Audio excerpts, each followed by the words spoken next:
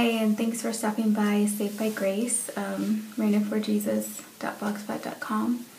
Um, this is probably one of my first vlogs on here. I've been doing a lot on my uh, crafty mom um, blog.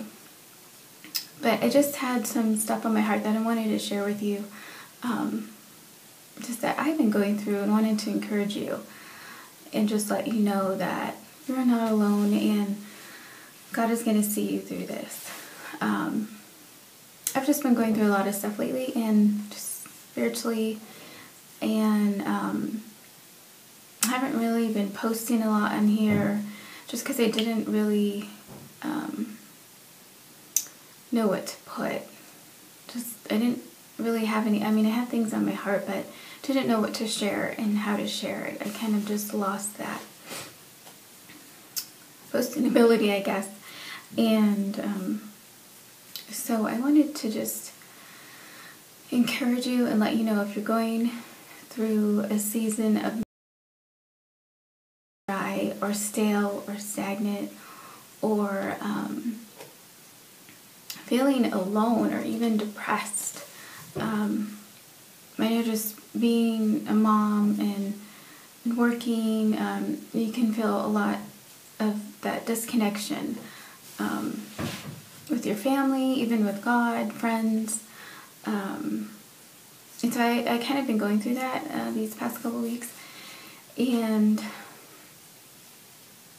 a lot of it was just me being stubborn and not really wanting to just sit and be still and hear what God was trying to speak to my heart. And um, just everything seemed like rush, rush, rush. We wake up, we go to, you know, we get ready, go to work, go to, um, come back home, and then, you know, we're tired from the day, and um, so I just got caught up in, I call it the rat race, because I feel like it's just a rat race. It just goes and goes and goes, and just came to this point where I knew that, you know, something was wrong. Like, this is not how God wants my life at this time. So I was just praying and asking God, you know, what is it um, that's keeping me? Why is I feel like life is just flying by so fast and I'm not accomplishing anything and I'm not furthering your kingdom. And last night, um, I was able to, to view two testimonies that really spoke to my heart and really just brought me back to my purpose in this life that God has given us. Um, it's not about us. Mommy? Yeah? Yeah. Sorry about that. Um, so as I was saying, it's not about us. It's about Jesus and sharing the gospel, sharing our testimony. And I think a lot of what I was doing, I was focusing on other things and putting other things before God and so um, I think we just have to get down to the bottom of it and see what's holding us back from letting go and letting God and just really seeking Him. And sometimes we can get so distracted and caught up in this world and, and forget about our purpose. And if you're in that place I really encourage you to take just a moment, however long it will be, and just sit at his feet and ask him to show you what it is. What is your purpose here? And I promise you, he will show you and he will touch your heart.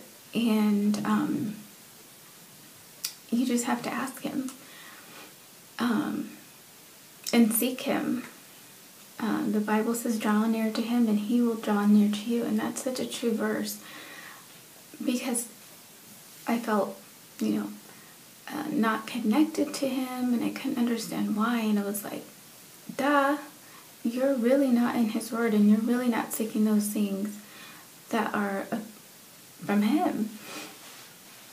And it's a lot of what you put in yourself. If you're not seeking things that are uh, about him, you're not going to grow or you're not going to get encouraged. And um, for instance, what you watch or what you see on the internet or just what your ears or eyes are seeing and hearing. If you're putting in bad stuff, junk is going to come out. But if you're putting in the Lord, He's going to come out of you. And so I really just think that's what was happening to me. And so, um, just wanted to encourage you and let you know that you're not alone. I think we all go through this. Um, I don't know, every now and then. Um, but it's just, if you are, you know, just stop dead in your tracks and just pray and ask God to help you to see you through this time. Um, because He will get you through it. it. It's It might take some time. and sometimes it might not happen overnight or sometimes it will. You just have to be patient and just keep seeking Him and open your word and keep putting things that are of Him in you. Um, like I love to go on Pinterest. That is a very distracting thing. It can be very good, but very distracting. So if all you're doing is just putting that inside of you, what is going to come out? Um, it's just like with eating. If you put junk in, obviously it's going to come out in your body. Um, so it's that same concept. What you put in is what's going to come out. And I've known this, you know, for such a long time. I've been saved for about 13 years this year. And um, so, anyways, I don't want this to be boring, but just wanted to encourage you and let you know that, um, you know, you're not alone in this. If you're feeling alone, depressed, um, just disconnected, I encourage you, open your word and read God's word and pray. Um, prayer is so powerful. It's just amazing at how powerful it is. And, um, you know, I have a hard time mem- remembering things, and this verse spoke to me. Um, I have this little card we get from church.